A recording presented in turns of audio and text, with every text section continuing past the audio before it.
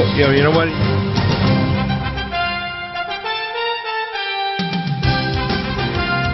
Bread guns for bread. And we're back with Tim Alexander, Lord Sterling, and of course the website is Europe Business, B-U-S-I-N-E-S dot blogspot dot com, and again it's one S. You can go to just Google uh, Tim Alexander, Lord Sterling, and of course the Europe News blog. You talk about the second update, and you have two updates, I guess, today. Uh, getting lots of hits, of course. You're, well, there's there's there's uh, a lot happening. Uh, we keep moving towards the cliff, and we're just about falling off the cliff that will be the Third World War, or at a minimum, a nightmare uh, in the Middle East, which will be connected to the economic crisis that continues to go down the tubes. And, um, you know, it, it's just, it doesn't get better. It seems to get worse. For instance, NATO has now launched war games in the Mediterranean, and they've got uh, a German, a French, and Turkish frigates. Uh, operating uh, real close to Syria, and you know, I mean, it's just uh, they, continue to pour uh, gasoline on a fire. Uh, and it's uh, it's just crazy. But anyway, uh, Syria destroyed uh, a group of five uh, Turkish cargo trucks that happened to be inside Turkish territory, and of course they were working, uh, operating in cooperation with the the so-called opposition, the foreign mercenaries. Uh, just a couple days ago, there was a story that 10,000 uh, mercenaries had managed to make it across the uh, border in about a day's time into Syria. Uh, the Syrians are actually they're very tough, and they have fought, they have outfought the foreign mercenaries uh, several times and come very close to uh, uh, to total success. But the uh, Saudi royal family and the Omani royal family they come up with enormous sums of money uh, to to get these poor Arabs uh, from all over North Africa Cannon to fodder. uh, Cannon fodder. and become And a mercenary. Other than And, being uh, able to handle a gun, uh, but most of these people are going to walk in not having any weapons or tract- tactics training. They're going to walk in and being cannon fodder to a very hardened uh, Syrian army, backed by Russia and China. And China is very quiet, but I guarantee it that the, as you mentioned before the show today, something very significant. So those people are military advisors. We know that a transcript, particularly of this hour of the show every week, is transcribed to Homeland Security, CSIS in Canada, the home, uh, the uh, FBI, etc., and other government departments because they want to know three things. Number one, what questions are they asking? Who are the guests that are on Deagle's show? And why do they know these things? And you sent something today that I found was very shocking that Russia and China co-developed the S-300 anti-aircraft system. Now the S-400 foreign minister, The, yeah, the the S-400. S400 is the follow-on to the S300. The S300 has been Right. the best air defense system, bar Right. none. Far better than the PAC-3 that the United States have. But the the S400 uh, is is the successor to that, and in fact the um, uh, the Chinese co-developed it, and they call their version the HQ um, 19. Um, they have three different. That system has three different levels of rockets: an extreme long range, and it can literally shoot satellites down, uh, and then a long range, and then a medium range. And often with that system, they'll have short and medium range other systems, wheeled and tracked systems. These are great big, by the way. The S400, S300 are enormous, uh, kind of like trucks, but they're designed to be able to go off road in the field. And they carry four of these large missiles. Um, they're just they're, they're, think, uh, think of the largest semi truck and then make it six times bigger, uh, twice as wide, and uh, well, three or four times longer. And that's what they look like, and they, they, they can erect and fire these things. And they can record And, fire them in, um, in uh, less than 20 minutes. so we don't. uh, to be honest, the United States doesn't have a system anywhere near that good. Now, here, here's what the implication is, uh, and the question is, Tim, if the Syrians and the and the Iranians have these systems, and they're saying they may release them. In fact, they're saying there was a 2010 letter from Mr. Medvedev, the, the then uh, president of Russia, that you know, now he's a prime minister. Okay, he's they switched jobs. With yeah, yeah. Putin back. Okay, Putin is the the boss. Putin, but anyway. is the boss now for four terms with the switch over because they had constitutional law in, in Russia, and they're probably going to change it so Putin can stay the the you know the boss, the non-vodka drinking Russian. Again, remember they invented vodka so Russia wouldn't take over the world. Well, guess what? Mr. Putin doesn't drink vodka. I, I had a Russian girlfriend after my wife died. That her husband, or her her husband, her father was in the uh, Sputnik program, and he was the rare Russian that did not drink. Uh, and I know some Russians that don't drink very much, but uh, but many of them do uh, tend to bend the elbow quite a bit. And when, and when Russians drink, believe me, it's it's kind of like teenagers. Is how fast can we pass out? right. Well, the thing is, though, when Russians don't drink, they're some of the most brilliant, amazing people on the planet. And yeah. here's what here's what we have to really realize: the Russian physicists are the best on the planet. The Russian military advancement in the past 20 years since Glasnost and Perestroika, when we purposely sent we call economic terrorists in to destroy the Russian economy, which was by on purpose, which caused the collapse of the Soviet Union, was all by design. The Russians didn't forget that. They built a system to be be built on the idea of the chinks in our armor and the weaknesses in our systems, including the new Topol M missile, these S-400 systems they co-developed with China. And the fact is, and you know, listen out there, you cannot get into Syrian or Iranian airspace. If you try and you probe with more jets and more aircraft and more missiles, you're going to find it's going to get shot down. Now, what are the dangers of that? The dangers are, uh, yes, they're trying to put special forces on the ground to get inside Syria and Iran. The Syrians have actually mined all 550 miles of the Turkish border. The Turks basically are idiots. They're going to use this cannon fodder because if they put another NATO Syria Turkish jet across Syrian airspace, it's just going to get shot down. And if they start trying to incurs with Syrian air forces across the Syrian border with Turkish troops or NATO troops, they're going to get blasted.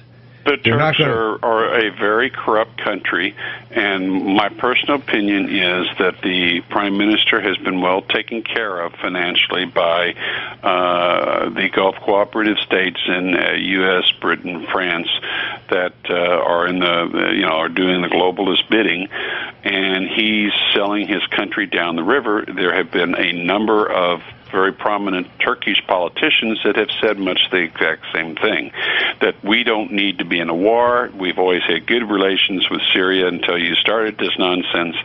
And quite frankly, if push comes to shove, the Syrians can lob some very, very nasty missiles with uh, uh, some very nasty chemical or radiological or uh, advanced biological warheads on Turkish cities and take out millions of people without even working up a sweat. Exactly. And, no, they, and, and they also the, the Iranians the, the, and Pakistanis are fully ready to. about all this is, you know, uh, both sides. The Israelis, uh, the common thing is, oh, they've got two or three or maybe 400 nukes. Well, they've been saying that for 10 years or more.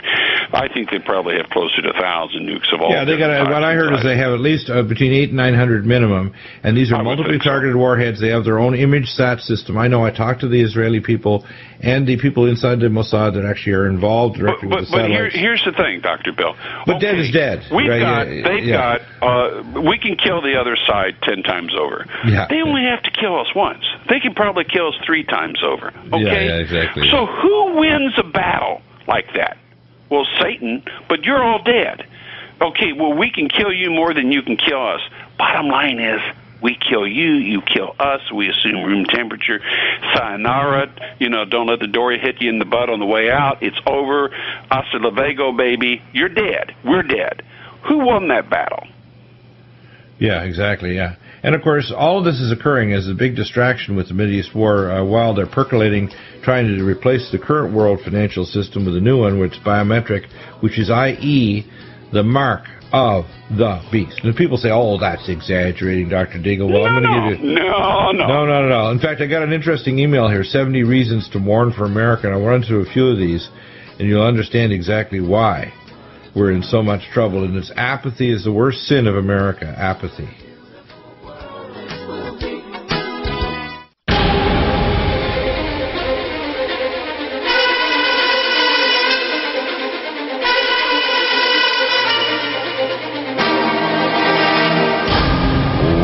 Back to the NutriMedical Report. Now, if you want to support what we're doing here at NutriMedical, you need to get your nutraceuticals completely and only from NutriMedical.com, and that means you're going to allow us to expand the number of shows and the number of people. Hello?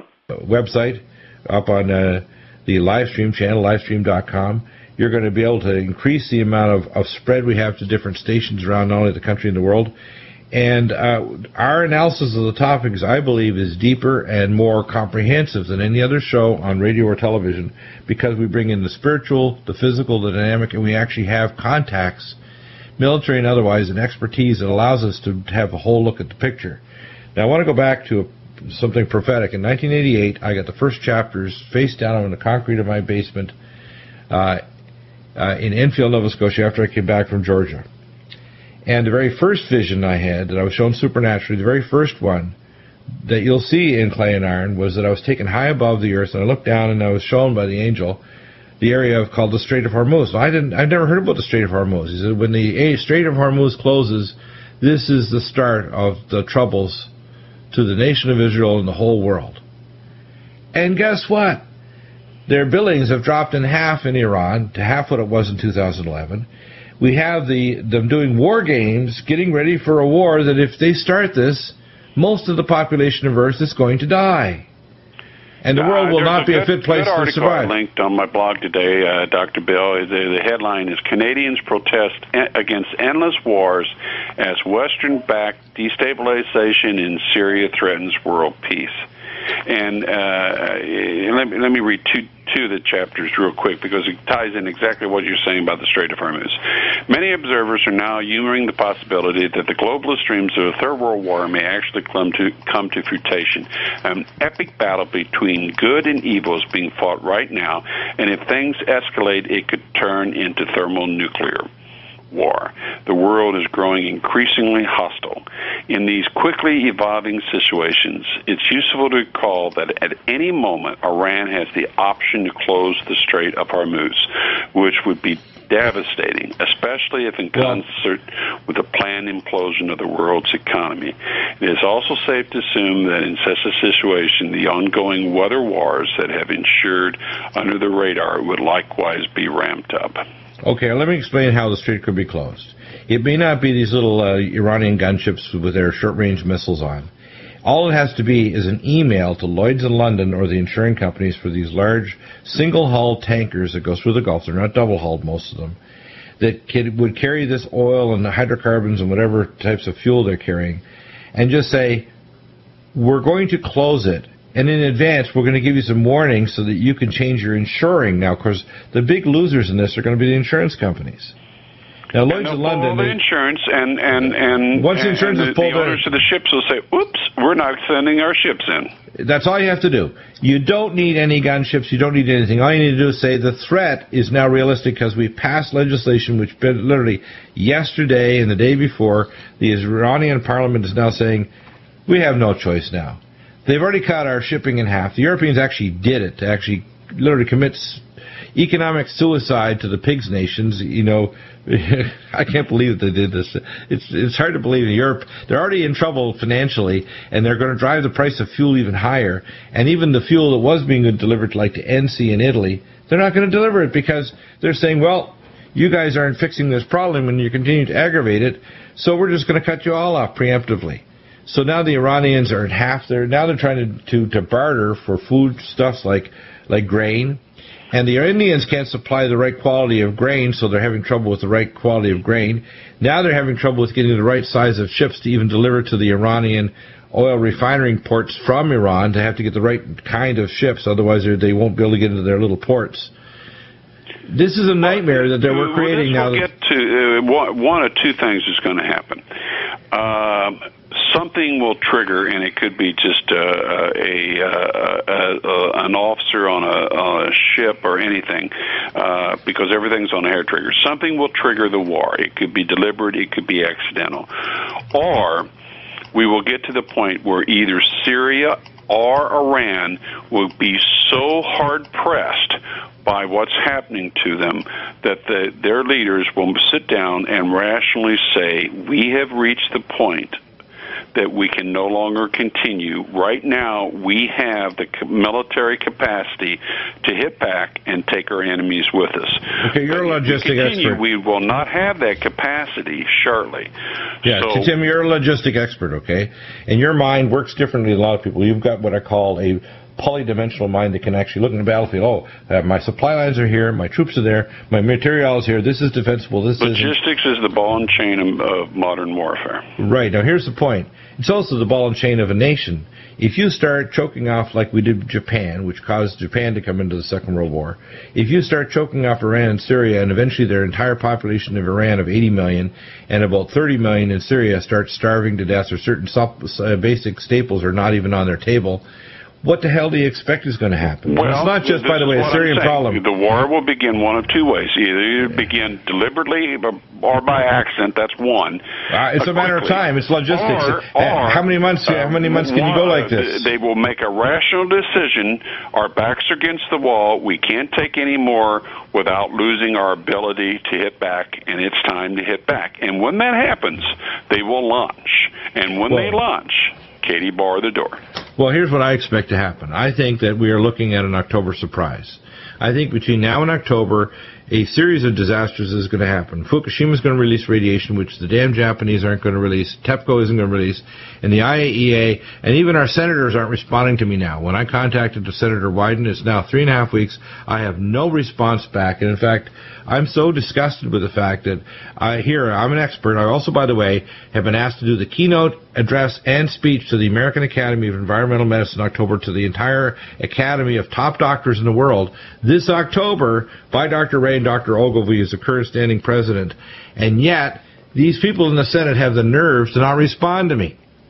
I want a damn response. I'm getting tired of this. I deserve well, some respect. Is, uh, Fukushima is part of a of a population reduction operation. Well, it's more than just population reduction. It's, oil disasters. They, they have they to create enough disasters. It's not just killing, though. Before they kill, they want to decimate the middle class. They want us desperate enough. And I know you said before the show people are prepping.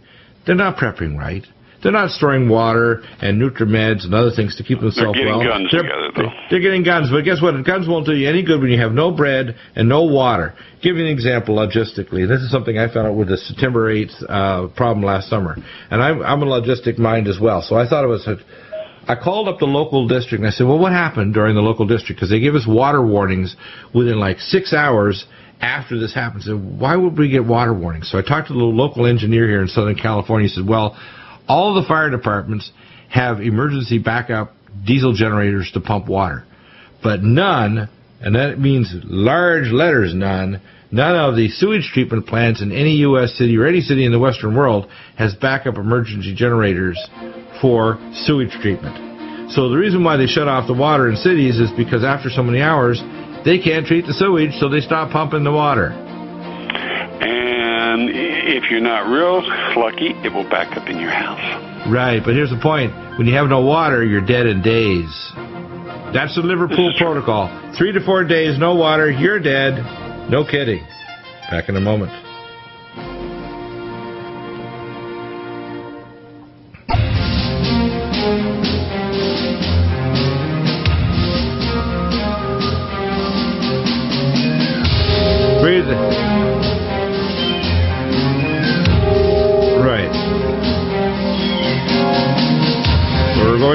And uh, we also have Chris Harris. Uh, Chris, are you there?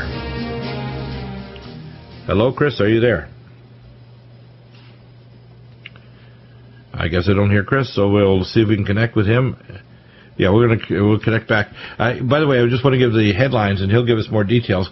Collapse of spent fuel pool uh, fuel storage at Fukushima Daiichi could be worse than initial accident says, and we have that report. The collapse of the uh, already tilting reactor 4 at the stricken Fukushima Daiichi plant atop sits a spent nuclear fuel pool containing 1,535 fuel assemblies, including 204 unused ones, would lead to a significant global impact by far topping last year's triple meltdown at the plant, the report states.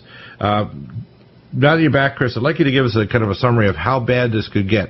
And we're looking at a situation where uh, on Tuesday at 4 a.m. Japanese Standard Time, JST, there was going to be a critical temperature rise to the level where these fuel rod assemblies were going to start popping their corks like champagne bottles sitting on the tarmac in Phoenix Airport at 120 degrees in the middle of July.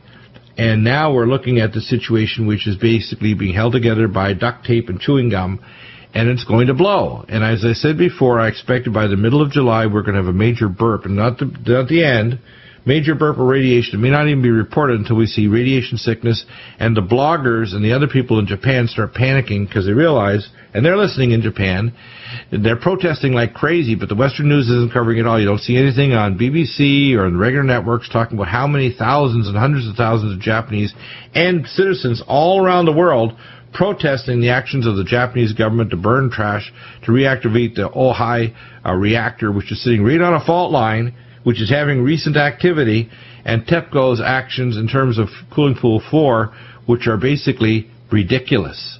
And this is going to blow really soon. Tell us how bad it is going to get. Well, let's let's get um, let's talk about Unit Four. Uh, Unit Four, the spent fuel pool cooling system, was reestablished. Uh, yes, I know. They, I, that term reestablished was really, it's like one of these uh, B movies. Reestablished means we managed to, to, to, to tape in a pump outside the other pump, which doesn't really work very well. We don't know how the integrity of the seal is because you released this a few weeks ago and it's up on ENENews, uh, Chris, and it's all over the world now. Your audio was actually turned into a YouTube along with uh, Tim.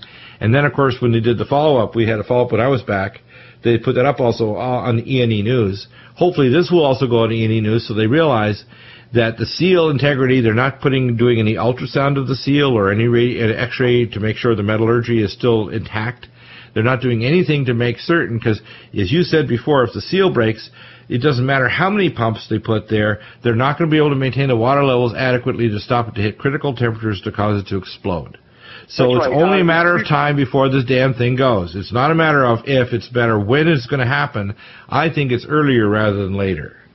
Right, and and uh, you nailed it with the chewing gum and, and duct tape comment because what failed on the spent fuel pool cooling uh, system was something called the uninterruptible power supply, which didn't live up to its name and became interrupted. And they weren't able, and this is what happens when you put uh, makeshift flimsy systems, in this case an electrical system, back together again to use uh, in place of what was supposed to be a robust system, but of course it got flooded and you couldn't use the electrical distribution system anymore at that plant. And now you have these off the shelf items like this uninterruptible power supply. Then you got to send people in that, you know, and get more dose and to, to fix the thing. What they ended up doing was bypassing it. In other words, running an extension cord around it Exactly, which in other words, add an extension to an extension. And you know, when you have an octopus, whether it's pipes piping things in, they're going to have leaks. They're going to have mm-hmm. a lack of integrity, and the same with electrical systems. And the darn thing stop connecting electricity.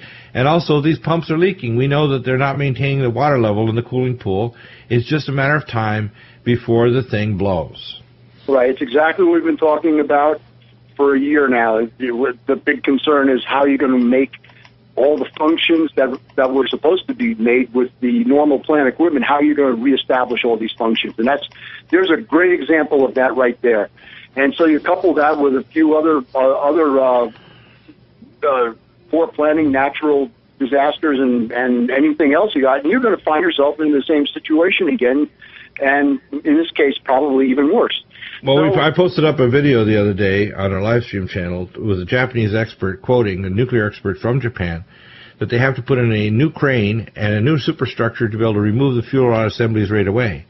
But they haven't done even square one. They put a, a cap over the top of which interferes with even putting injecting water into the top of the tank and interferes with the ability to actually extract these fuel rod assemblies. So everything they've done has been screwy.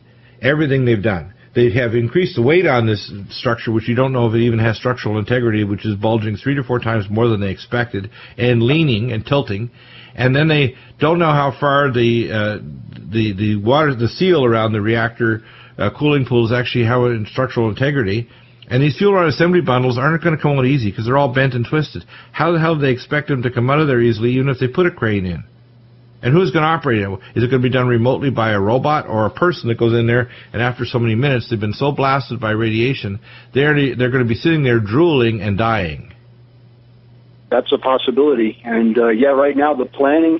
First of all, we've never planned for this before. They're not planning for it now because Mo, Larry, and Curly are doing the planning. It appears, and Right. so there there is no way that uh, anybody's got the real big picture driving this to to conclusion because And there isn't. They're also in La La Land. I watched a video and I was just disgusted by the Japanese, you know, jumping up and down about their bets on their horse races, which are a few miles away from Fukushima. They just reopened the Fukushima Raceway. I'm thinking, you people are nuts. Do you know how close you are to the Fukushima Daiichi plant? The wind goes your way and you get a big burp of radiation. Your horses and you people are going to start dropping dead like, almost instantly. Yeah, well. And if that's, uh, not instantly, you're going to start saying, gee, Ma, how come I'm bleeding from all my gums? Got blisters all over, and I'm passing bloody diarrhea, and I'm feeling so weak I don't think I can stand up. Well, guess what? You're dying because you had a massive radiation exposure. And uh, you know that uh, you know so that that in itself is uh, it shows that there is no planning. It shows that there's no oversight, and it shows that just as we've been talking about for a long time, there is no adult supervision. And No. uh, the bottom line is driving the show. The bottom line being what the bean counters want. And uh, the whole everything else about regulations, everything else is just for show. That's all it is, and it's um, Yeah, well, they put Yeah. steel pillars in there to support the pool, but they don't even know if these steel pillars can handle it. The extra weight that they added recently with that cap. Uh, And if I put a steel pillar, what if what if I mounted the steel pillar? What am I transferring the load to? Something that's also flimsy? You know, Yeah. I mean, so Yeah. yeah, that's great. I go ahead and I got this steel pillar here. Well, what am I just? Is it going to just punch right through the floor and through cracks and everything else? Exactly, no no. analysis. Now, now, the April report you quoted, which we, by the way, grabbed and we posted up uh, back a, a month or so ago now, uh, that you quoted again on the 14th and the 22nd, uh, sec, uh, 21st of this of June. Uh, that report, what was the name of the scientist that uh, you quoted uh, back in April Study- that actually, Dr. Gailey.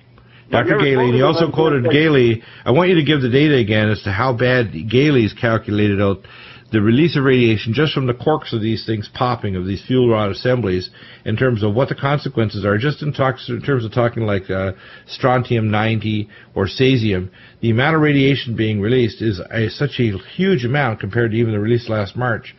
It blows your mind. And and our western governments our us government while they're playing around with their politics and their election they're not facing the fact we're dealing with a global catastrophe not just a japanese catastrophe we're talking about a global catastrophe where more than 80% of that radiation is coming our way. And it's not just going to dump over just America and Canada. It's going to dump over Europe and Russia and China and everywhere. The northern hemisphere. And don't think be real be real smug in the southern hemisphere. You're going to get get a good whiff of it as well. There's jet streams that'll carry that radiation south to the equator as well, but you won't get as much as us, but you're going to get hit hard too. This is a global catastrophe in the making, and combined with our food shortages and our crop failures and climate shift, this is going to get nuts. And people don't understand. This will bring in a real big October surprise if it happens before the election, which I expect.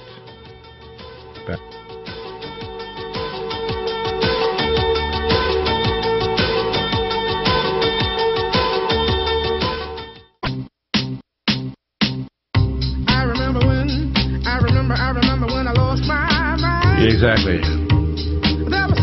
Exactly.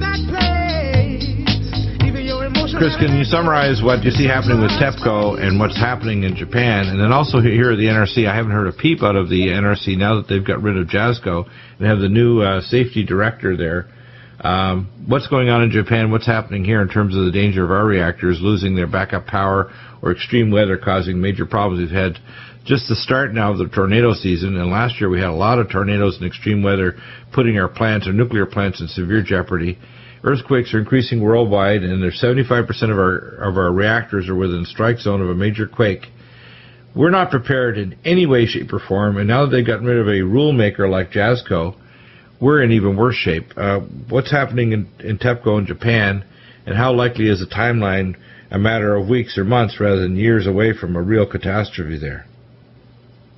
Well, according to some of the experts that have uh, in Japan, right, very close and personal to the problem, they just put out a report.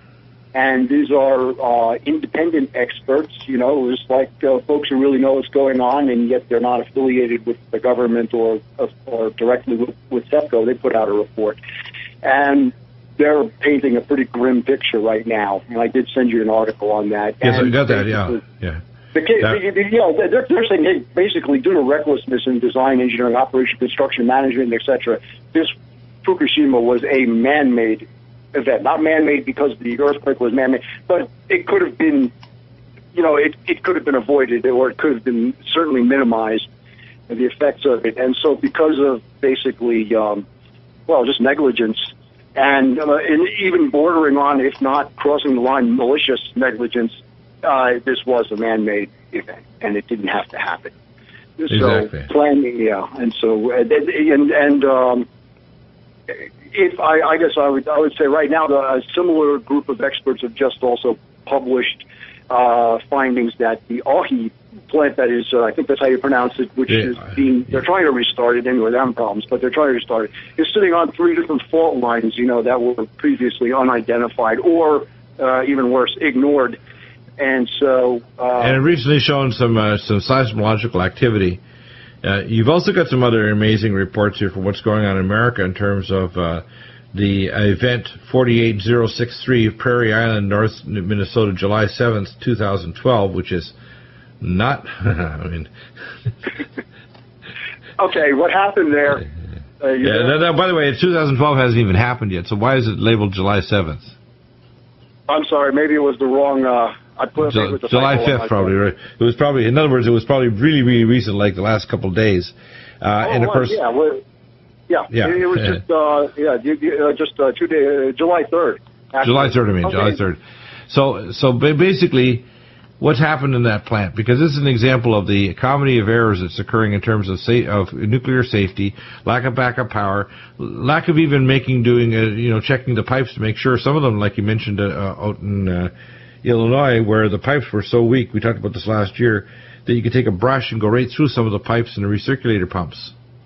Okay, well, uh, we talked about a lot of external events and uh, their relation to Earth changes, Right. and that plants are designed to be safe within a certain confinement, a certain a certain area of operation. In other words, uh, you will never get an earthquake at North Anna greater than this, and yet they got one greater than that. So, you know, in other words, so in in the case, this is kind of unusual. Up in uh, Prairie Island, which is way up in Minnesota, right on the lake, uh, if uh, the air temp, see, there are many different parameters. One of them is you will never get an air temperature greater than 97 degrees at this location that's designated to be the official spot to take the temperature, which Right. is actually 30, it's like 10 meters up in the air on a certain uh, uh, Right. instrument that's up there. If it does exceed that, your diesel generators are not designed to respond well or at all at, at, at a temperature greater than that. So you have to say they're not operable anymore. I can't rely on them.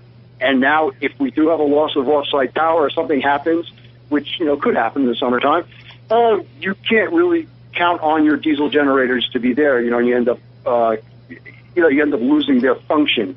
And it's so uh, historically, this data was was compiled, and they decided, you know, this 97 degrees is way above what we're never what we're ever going to get. Remember, back in the 60s and 70s, you're never going to see 97 degrees up there.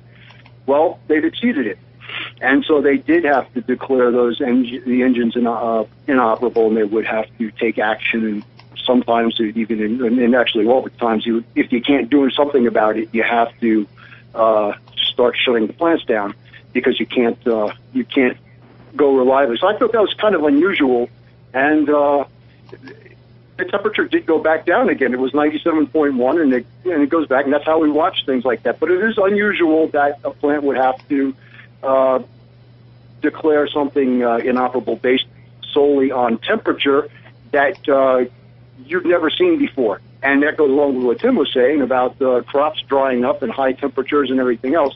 It's even up in Minnesota, we're getting uh, high temperatures right now. Exactly. and by the way, that uh, temperature, and this is- goes back to Tim and what we released over uh, two years ago now with Dr. Zangari, John Moore, uh, Tim uh, Alexander, and myself. Uh, we released information. I even contacted, by the way, uh, the institutions here in America that were doing research with the Frascati Institute and NOAA, the No- National Oceanographic Administration. And now that we've got this ongoing disaster in the Gulf of Mexico, the loop current is not connected, so that heat generator cannot pump that tremendous amount of heat generated in the Gulf of Mexico. The temperatures of the water are seven degrees hotter. That heat is pumping up that heat into the Midwest, all the way from the mountain states, all the way through the East Coast and right up to the Northeast. That's the reason why it's so damn hot. And some people who try to say it's global warming, they're crazy. What's happening is the engine of, of the Gulf of Mexico isn't working. And that's another factor. We could also have flooding. We don't have these reactors ready for, for flooding either. One of the things you talked about was the uh, not only the diesels being inoperable, none of these are rated for these levels of, of earthquakes or rated for extreme weather. Um, and then to, to, go back in the last couple of minutes here, the Japanese uh, seismologists are telling us they're having massive processes everywhere, including the Ohi reactors. I don't know. I mean, what's going to happen? Are they going to wait until there's such a massive radiation release that people finally uh, are, you know, there's blood in the streets and there's actual violent revolution? What do they want? Do they want people all over the world to be protesting and closing down the Japanese embassies? Because that's what's next. The Japanese have to stop burning trash. They need to allow international governments to come in there and help them to deal with this disaster before it starts killing people, not only in Japan, but around the entire world. Already we know the unborn are being killed in America since last March. It's a year and a half now. And we're doing nothing. And I get no response, by the way, from Senator Wyden. I think somebody talked to him. I think somebody has said, don't talk to Deagle. He's a problem child. He's going to cause trouble. He's asking questions we don't want to answer. He wants data that we don't want to give them. If we do know something, we're not going to let it out. What do you think, Tim? I think uh, we're looking at uh, globalist population reduction uh, operations at Fukushima and also uh, in the Gulf of Mexico. By the way, on my site, I've got a link to the RTOFS Atlantic Nowcast uh, that's part of the United States government, and I'm looking at it right now, and there is no loop current. None, gone, sayonara, and all that energy is just sitting in the Gulf. But the the boundary zone between the the different warm and colder waters, depending on salinity, is broken when an oil barrier breaks down that barrier. Therefore, exactly. the heat cannot escape in, an, in what we call an integrity loop current, a current where, where warmer waters that have a different temperature and salinity is literally has a physical boundary zone with an, with adjacent waters. When that's gone, that heat cannot connect with the Gulf Stream coming off of the the eastern coast of Brazil and the Caribbean current connecting to create what's called the the the Gulf. The well, and and that it, the, the the Gulf Stream is a uh, a river of warm water in a in a cold North Atlantic, and the and it affects the atmosphere for miles above it, and that ben Franklin was the atmosphere dis- controls the jet stream. Right, Ben Franklin was actually one who discovered it. over two years now. That's why two years ago you had 105 degrees in in, in Moscow in the summer, and we're having abnormal in in Argentina right now. They've had two week uh, in the last two weeks. They've had as much snow as they get in the entire season. The entire world's weather patterns have shifted because of the BP oil disaster, no. and none of the globalist uh, controlled mainstream media will say one word about it. Well, what's happening is famine. Just like uh, my ancient ancestor Joseph, we are facing famine this year, not 10 years from now, not next year, this oh, yeah. year. By this fall, on a worldwide basis, we are entering famine globally. And it's tied in with the fact that we're with the release of radiation from Fukushima, the population's immune system will fail, and we're also facing, therefore, down the road, a pandemic of one or more pathogens. And if there's a Gulf War, people will have virtually no resistance to these pathogens if they spread. And again, we can stop it if we know what it is. As I say, my idea of optimism is to know what the truth is and to have a plan to survive and thrive, but it requires honesty and it requires action, and we need a lot of prayer to the Most High God to direct our actions. Get right with God. Tim, closing comments and uh, yeah, get right with God because uh, with the cornucopia from hell is. Hi.